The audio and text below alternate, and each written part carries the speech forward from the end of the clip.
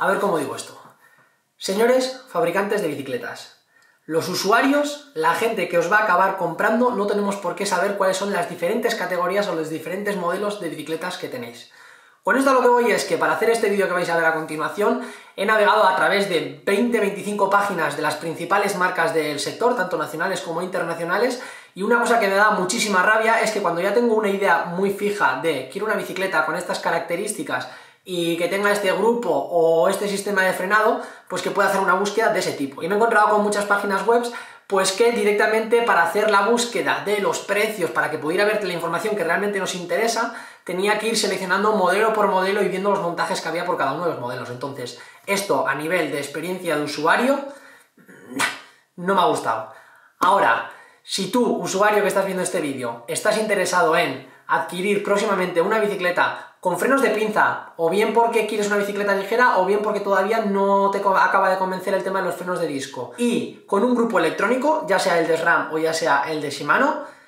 quiero decirte que estás de enhorabuena porque es ahora, en este momento, cuando más económicas están estas bicicletas o cuando ya directamente las marcas están queriendo descatalogar todos estos productos de su catálogo. Así que dicho esto, en este vídeo os voy a enseñar cuáles son las principales bicicletas que vais a poder encontrar actualmente en el mercado con esas características. Grupos electrónicos, freno de pinza y, a ser posible, lo más económicas posible, que esto es un vídeo que tenía pensado hacer desde hace mucho tiempo, eh, hablando también de cómo conseguir electrónico en la franja de los 3.000 euros, pero es que me he dado cuenta de que de cara a 2020 la mayoría de marcas de bicicletas están quitando la pinza de sus catálogos o están inflando no sé por qué motivo desmesuradamente los precios de las bicicletas. Así que dicho esto, vídeo.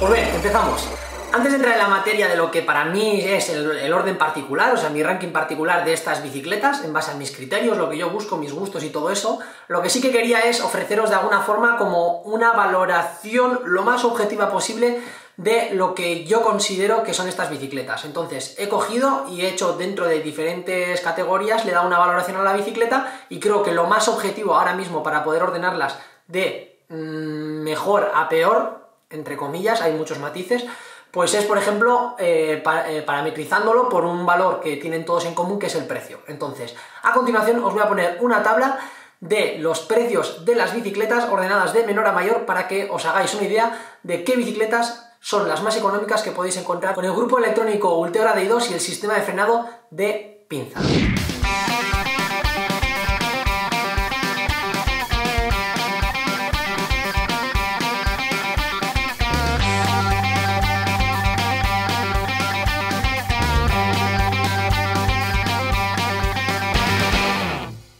Pues ya acabáis de ver ahora las bicicletas ordenadas por el precio, como os decía, de menor a mayor, y con lo que yo considero que son como unos parámetros en cuanto a componentes, calidad, estética, y con los pros y contras que yo he visto en cada una de las bicicletas. Ahora, dicho esto, os voy a presentar a continuación mi ranking particular.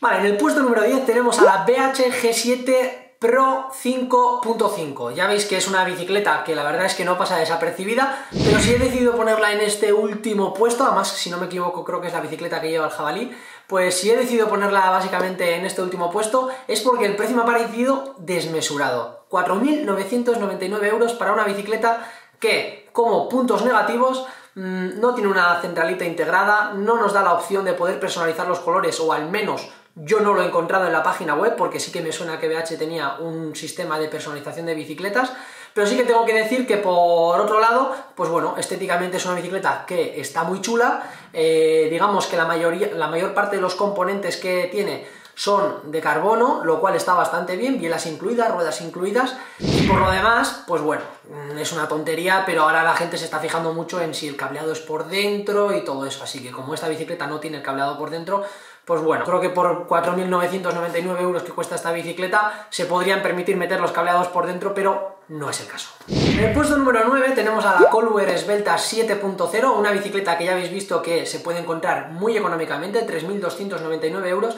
pero si está en este noveno puesto es porque digamos que con el tipo de cuadro que ofrece, con el tipo de montaje que ofrece, pues realmente hay otras opciones que mm, pues están económicamente bastante mejor y el diseño no me parece que sea nada del otro mundo. Como detalle a comentar, en la página web la foto que sale no se corresponde al montaje que lleva. Eh, digamos que aunque vosotros hayáis visto esa foto, pues iría montado con unas ruedas Mavic Action y luego pues eso, también lo que aspectos que entre comillas no me gustan es que tanto los componentes como los colores son cerrados y bueno, ya que vamos a hacer inversión en bicicletas, pues que menos que poder personalizarlas en cierta manera. Y otro aspecto también que no me ha gustado de esta bicicleta, de la Colbert, como os decía, es que ya viene con un desarrollo ya cerrado de 52.36 y 11.28, lo cual considero que para la mayor parte de los cicloturistas, en los cuales yo me incluyo, pues es un desarrollo muy poco habitual. O sea, la gente habitualmente ahora está acostumbrada a montar unos 50-34 de plato y un 11.30, 11.32 de piñones. La tendencia al menos del mercado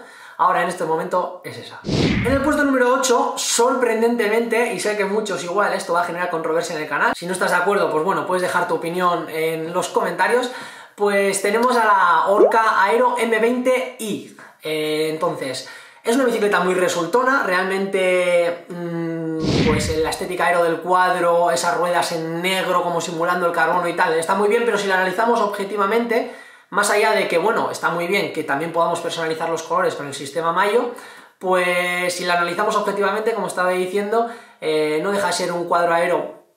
entre comillas, normal que podemos encontrar en otras marcas, pero sobre todo lo que pues, más me choca son las ruedas y el precio injustificado de esta bicicleta para realmente el montaje que lleva. Una bicicleta, un cuadro, pues bueno, aero o no aero, pero es un cuadro de carbono, con un Tegra D2 y unas ruedas muy básicas, que esta bicicleta esté en 3.999 euros,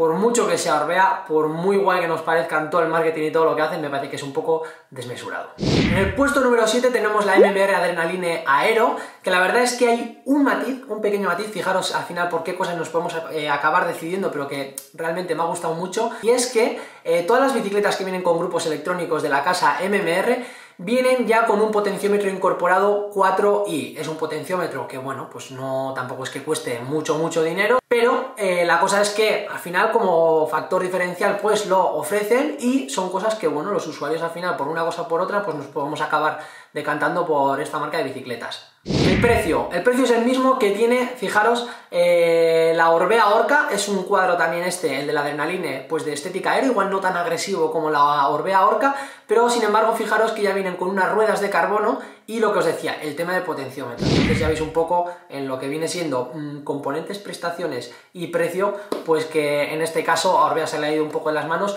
y que MMR, por ejemplo, tiene un precio muy competitivo. En el puesto número 6 he querido meter pues, a dos bicicletas de una misma marca, que es Canyon, la todo conocida y poderosa Canyon, y los modelos que al final he decidido meter en este listado son la Ultimate, para todos aquellos que buscan una bicicleta un poco más escaladora y sobre todo ligera, y la Aero Road. Eh, la diferencia de precio entre una y otra son realmente 200 euros, una la encuentras por 3.999 euros y la otra por 4.199 euros, la Aero Road es la más cara, y lo que me ha sorprendido realmente es, pues digamos, la calidad-precio del montaje que llevan. Ambas bicicletas están montadas con Ultegra Di2 y ambas bicicletas traen ruedas de perfil de carbono, unas más enfocadas, unas Mavic, digamos, para la Ultimate, que digamos que serían más enfocadas a, aligerar un poco el peso de la bicicleta, y por otro lado tenemos unas DT 1400 pues para la Aero Road, que bueno, entre, entre otros ya habéis visto que es la bicicleta que han llevado los biquineros y que, pues bueno, parece que les ha dado muy buen resultado. Pero lo dicho, estas bicicletas, tanto la Ultimate como la Aero Road, van para el puesto número 6 de este top particular. En el puesto número 5, y parece que esto se está empezando a poner un poco interesante, tenemos a una marca con la que yo hace ya un par de años o así más o menos eh, colaboré, que es Conor. Este año Conor ha renovado tanto la imagen como eh, todos los modelos que tenían en catálogo, y la verdad es que, mm, bueno, se podría decir que esta Volcano, esta WRC Volcano, pues bueno, viene con aires renovados y la verdad es que por el precio que tiene, menos de 3.900 euros, poder tener eh, electrónico, ruedas de carbono y un cuadro de estética aero, pues la verdad es que no está nada mal. Luego ya para la gente más posturetis como yo, pues bueno, el hecho de que tenga las cubiertas en crema, fijaros qué chorrada, pues es que suma muchos puntos porque, joder, nos gusta, nos gusta el postureo. En el puesto número 4, y esto ya se va poniendo interesante cada vez más, pues tenemos una marca que, bueno, si lo realmente he querido meterlo tan arriba dentro de mi top, es porque me gusta mucho cómo están haciendo las cosas a nivel de marketing, creo que ha habido como un cambio de imagen y una renovación que les está viniendo muy bien a la marca y es que la verdad que están sacando precios muy atractivos a unos precios muy competitivos. Entonces, como realmente el fin de, este vídeo era pues poder encontrar esas bicicletas más económicas con esas características de frenado en pinza y grupos electrónicos, eh, pues como puede ser Ultegra DI2 o el SRAM de Forza XS, pues bueno, Megamo se ha colado en este cuarto puesto porque a través de la Core 05, pues bueno, eh, con un precio de 2.999 euros, la verdad es que es una opción muy a tener en cuenta. Me parece que al final es una opción ideal para todo aquel que se quiere iniciar en el ciclismo con un cierto nivel en cuanto a componentes. Y bueno, aunque las ruedas no son nada del otro mundo, que la verdad que se podrían mejorar bastante, pues es una bicicleta que por el hecho de estar dentro de esa franja de los sub 3.000 euros, pues deberíamos tenerla muy en cuenta. Una cosa que no me ha gustado mucho es que trae tres colores cerrados, el verde, el amarillo y el negro, por lo cual si no te gusta ninguna de esas tres combinaciones, pues bueno, tendrás que conformarte con esa bicicleta o irte a otra marca. Bueno, en el puesto número 3, y ya entramos ya en los puestos de honor, está otra de las marcas eh, con la que suelo colaborar habitualmente, que es Berria Bike. El modelo que en cuestión es la Velador Aero 9, y me ha gustado mucho especialmente y si he decidido ponerlo dentro de este top 3 es porque es la única bicicleta que viene con el grupo electrónico pero inalámbrico, concretamente con el SRAM Force AXS. Otras cosas que juegan a su favor es la estética aero de la bicicleta, eh, los componentes zip que tiene y sobre todo también una cosa que me gusta mucho es que podemos personalizar entre un sinfín de opciones tanto los colores como también adaptar digamos que las, las medidas más básicas de la bicicleta como longitud de biela, potencia y todo eso pues a las medidas biomecánicas de nuestro cuerpo. Por eso mismo, por esa toda adaptabilidad y por ese buen precio de la bicicleta que está en 3.599 euros, pues por todo eso y más, esta Averria Velador 9 se cuela en el puesto número 3. En el puesto número 2, para todos aquellos que seáis pues un poco marquistas o elitistas con el tema de las marcas, pues es una opción que muy probablemente no compartiríais, pero la verdad es que el hecho de que tenga unos montajes y un precio tan económico para los montajes que lleva, pues es una, una opción que yo considero que eh, deberíamos de tener muy en cuenta. Sin ir más lejos, esta Van Riesel Ultra CF está en un precio de 3.599 euros. Y ya ves, al final es un cuadro de carbono que a mí personalmente la estética o digamos las geometrías no me acaban de convencer, pero bueno, al César lo que es del César, el hecho de que te venga con unas ruedas de carbono Mavic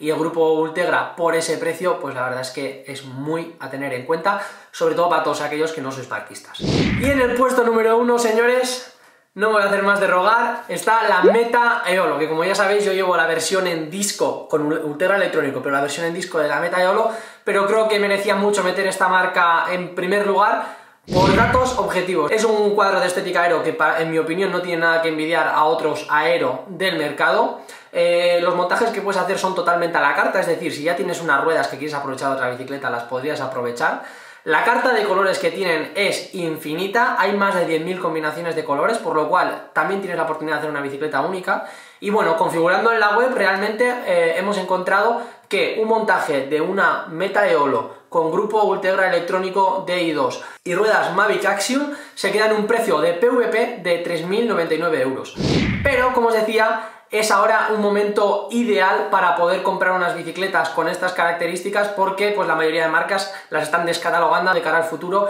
y es por eso que Meta, pues bueno, también está ofreciendo esta bicicleta al precio, atentos, de 2.899 euros. Así que si lo que estás buscando es una bicicleta con grupo electrónico, con unas ruedas, pues bueno, básicas, pero sobre todo un cuadro de carbono que también sea atractivo, pues bueno, creo que es la oportunidad de oro para poder tener una bicicleta única. Así que dicho esto, me gustaría que dejarais en los comentarios qué otros tops, sobre todo si os ha gustado este vídeo, pero qué otros tops acerca de qué categorías de bicicleta os gustaría que hiciera y bueno, entre los más votados pues lo tendremos en cuenta para próximos vídeos. Lo dicho, muchas gracias por estar ahí un día más, nos vemos en el próximo vídeo y mientras tanto, a disfrutar chavales.